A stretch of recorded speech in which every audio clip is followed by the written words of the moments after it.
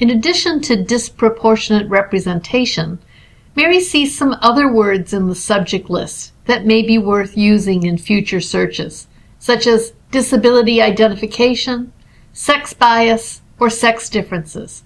She keeps track of these to use later. The terms in the subject list are assigned to this article by people who work as indexers. They assign only words and phrases that can be found in an official list of subject terms called the ERIC Thesaurus.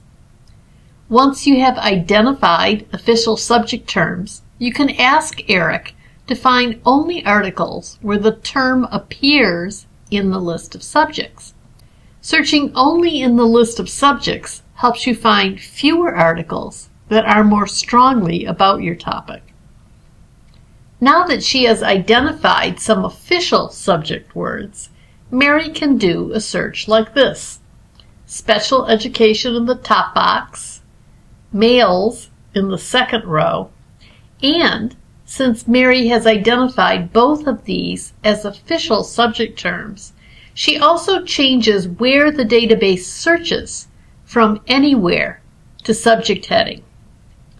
Mary adds a third row where she can now add words she found for that idea of too many. Here she enters some alternate terms using OR. Disproportionate representation or overrepresentation or overrepresentation again, this time without the hyphen since she saw it spelled two different ways. However, she keeps this third line on anywhere. Although disproportionate representation is an official subject term, she only saw the word over representation in titles and abstracts.